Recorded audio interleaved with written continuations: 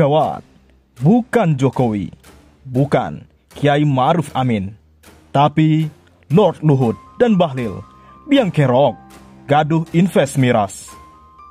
RUU larangan miras harus segera disahkan. Itu baru tegas, wahai Bapak Presiden. Oleh karenanya, kami, pembatalan, harus terus dikawal. Pemerintahan Jokowi mesti bertanggung jawab atas keriuhan yang terjadi akibat Perpres 10 2021 tentang bidang usaha penanaman modal yang di dalamnya mengatur soal investasi minuman keras alias miras. Pasalnya, Perpres yang merupakan turunan dari Undang-Undang 11 tahun 2020 tentang Cipta Kerja. Omnibus Law ini telah membuat publik gaduh. Meskipun belakangan dicabut oleh Presiden Joko Widodo.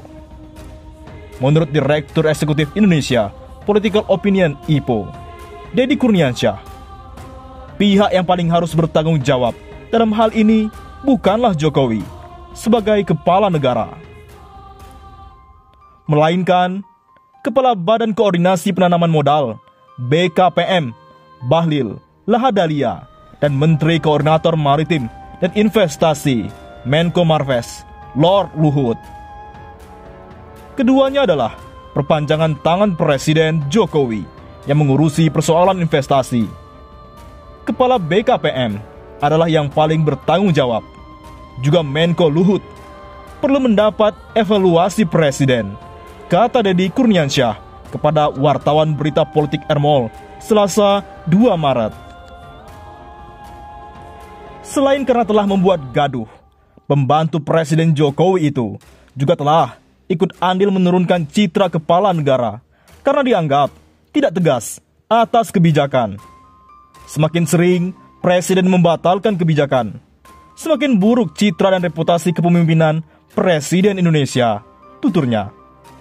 Selain itu, pembatalan perpres investasi miras ini juga mensyaratkan bahwa Presiden Jokowi seolah tidak memiliki visi kebijakan yang baik.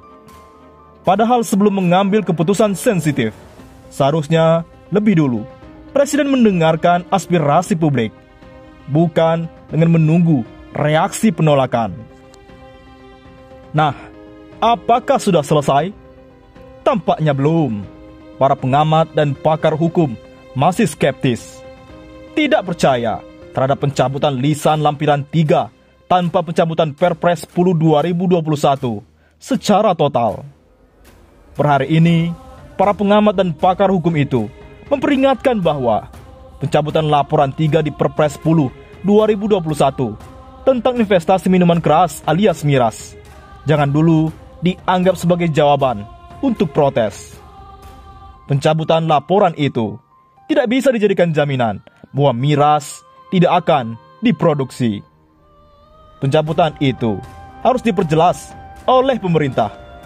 Sebab sewaktu-waktu bisa saja gagasan produksi miras dimunculkan kembali. Alasan mereka di perpres itu masih tetap terbuka investasi untuk bidang usaha yang memerlukan persyaratan tertentu. Pakar dan peneliti hukum Dr. Muhammad Taufik memperingatkan, produksi miras bisa saja dilakukan atas nama otonomi daerah oleh Pemda-Pemda. Meskipun lampiran tiga sudah dibatalkan. Malahan, kata dia, proses pendirian usaha miras di daerah bisa lebih mudah lagi. Sedangkan asisten profesor hukum di Universitas Islam Internasional Malaysia, Sony Zulhuda, memperingatkan rezim bahwa ketentuan perolehan bisnis miras masih tercantum di regulasi induknya, yaitu Undang-Undang Nomor 11 Tahun 2020 tentang Cipta Kerja alias Omnibus Law. Apakah kamu masih ingat dengan Omnibus Law? Jadi, para ulama dan semua pemimpin ormas yang menentang produksi miras harus terus mengawal pencabutan aturan investasi miras di Perpres 10 2021. Ada kemungkinan main akal-akalan di pihak penguasa. Bisa saja nanti ada klaim bahwa pencabutan itu hanya secara lisan oleh Jokowi tidak memenuhi landasan hukum untuk meniadakan produksi miras. Di lain sisi, rezim ini bikin sakit hati. 6 laskar FPI yang tewas ditembak polisi malah ditetapkan jadi tersangka. Keenam laskar tersebut dikenakan pasal 170 KUHP. Mereka dikenakan pasal berkaitan dengan kekerasan karena sempat melakukan perlawanan terhadap anggota Polda Metro Jaya. Tak hanya itu, kabar terbaru, rezim bikin sakit hati lagi. PBNU Said Akil kok malah jadi komisaris utama PT KAI. Sebelumnya selamat atas pengangkatan komisaris utama PT KAI. Pun komut-komut BUMN lain. Saya percaya 120% siapa pun komisaris BUMN yang ditunjuk itu tentulah sudah bagus, cocok, kompeten sekali. Karena penunjukan komisaris ini bukan main-main. Misalnya, untuk kereta api Indonesia, KAI, dari 30 ribu lebih karyawan KAI, termasuk alumni karyawan KAI, boleh jadi memang tidak ada yang cukup kompeten buat jadi komisaris utama. Sungguh miris. Sama dengan BUMN lain, ratusan ribu karyawan mereka yang sudah mengabdi puluhan tahun boleh jadi memang tidak kompeten buat mengisi struktur atasannya.